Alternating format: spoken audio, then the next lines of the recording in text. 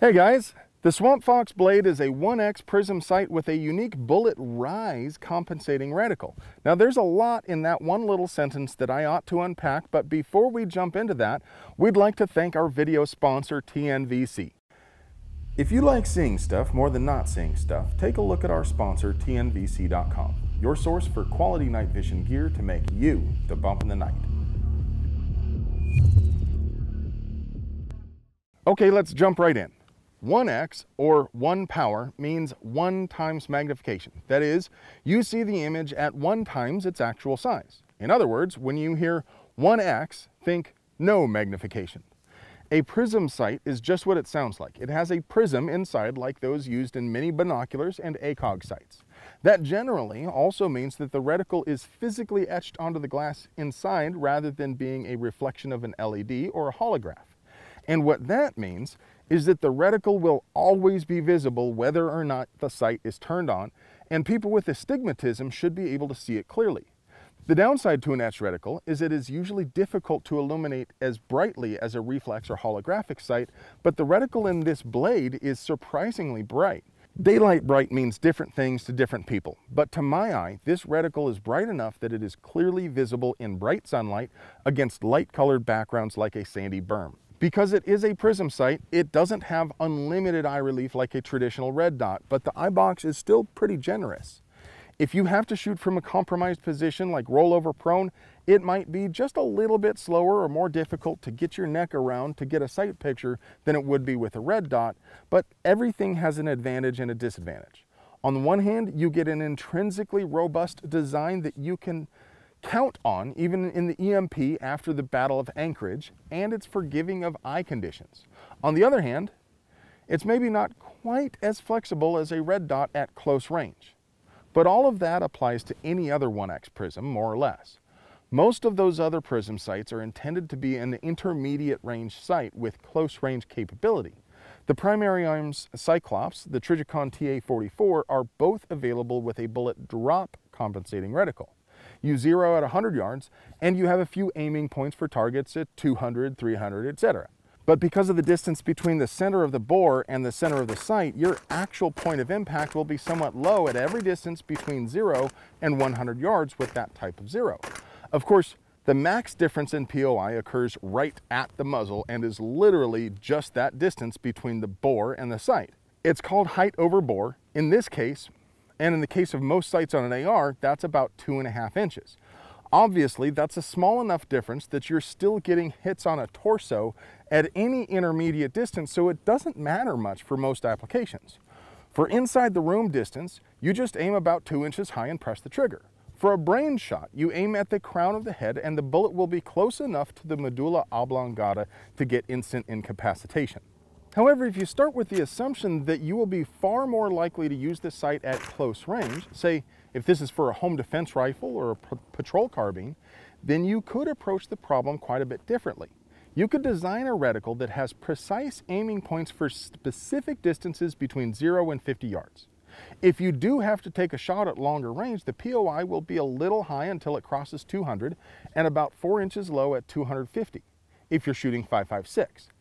Now, most of that wouldn't matter in a fight. Odds are you'll roughly just frame the bad guy's chest in the circle and slap that trigger because any quick hit is a good hit, especially if it's a lot of them in generally the right place. And at any distance from contact to 250 yards, holding center is enough to get a hit on the torso.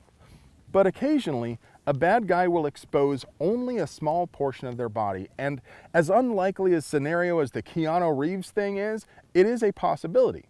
But homeowners and police officers may have to shoot just an ankle or elbow sticking out from cover also. Or someone might need to euthanize a dangerous animal while minimizing risk to himself and others. Or maybe you just want to clean that plate rack at 20 yards like a boss. For whatever reason, the bullet rise compensator in the blade provides precise aiming points at 5, 10, and 15 yards, as well as the center arrow reticle zeroed at 50 yards. What's also kind of neat about this is that bullet rise is more or less the same for any caliber. A bullet drop compensator reticle needs to be correct for a given caliber, but this reticle is the same whether you're using 22 or 300 Win Mag. Still, subtensions are given in the manual for various measurements on the reticle, so you could conceivably use it for longer distance ranging and BDC if you were inclined to do the math, but that's not really the primary purpose of this sight. Now starting at the rear of the sight, we have an adjustable diopter to adjust to your own eye, then the power and brightness control buttons on top. There are 10 levels, including two night vision compatible settings.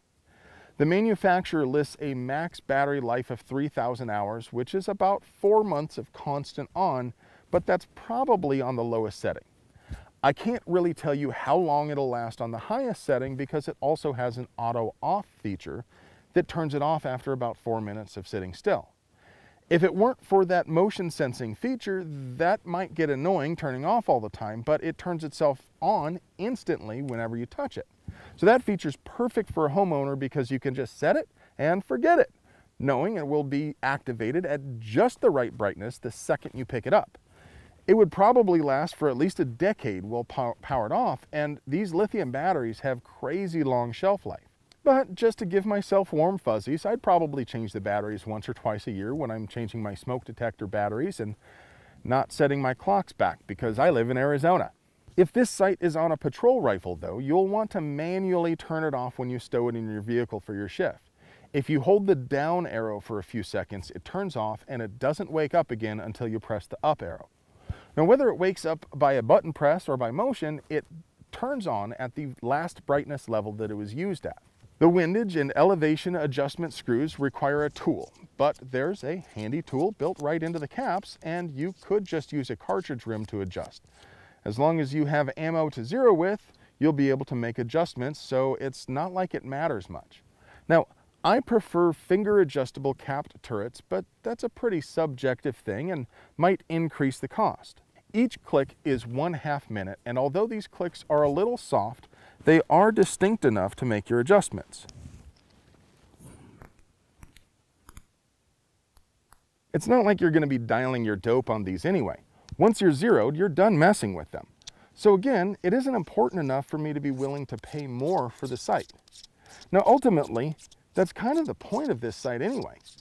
It's not a budget sight in the sense of being low quality, but it is very utilitarian and it's obvious that choices were made to favor functionality, durability, and cost so that the widest range of LEOs and armed homeowners could afford to, to buy one. It's a no-frills sight and a lot of what matters and a little of what doesn't.